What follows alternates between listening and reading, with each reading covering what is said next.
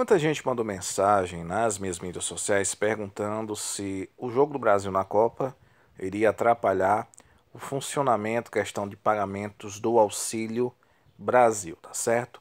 Primeiro eu quero que vocês prestem atenção nas informações, mas antes peço para você deixar o gostei, compartilhar o vídeo e se inscrever no canal se vocês não forem inscritos. Vamos lá.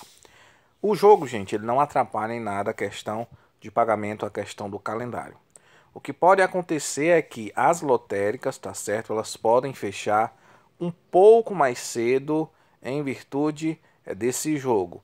Mas os pagamentos eles continuam o mesmo, tá certo? As movimentações vão continuar as mesmas. Então, é, em dia de jogo, poderá sim as lotéricas fechar antes é, de iniciar o jogo. Então, hoje, dia 24 de novembro, vai ter sim um pagamento para o NIS 6, tá certo?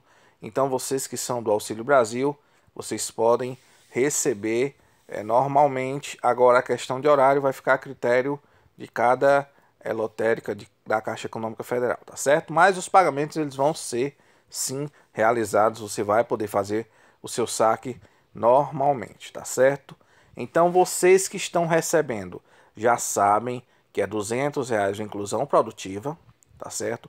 600 reais o auxílio, teve aumento, e claro, 800 para quem recebe a inclusão e ainda está recebendo o auxílio Brasil. Lembrando a vocês que o Vale Gás nesse mês não foi pago.